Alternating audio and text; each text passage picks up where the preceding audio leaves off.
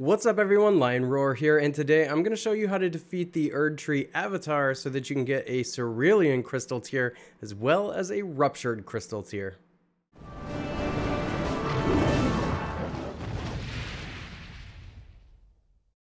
But first, download Gemstone Legends, a mobile RPG puzzle match game. Use the link in the description to start with free stuff including a bonus hero.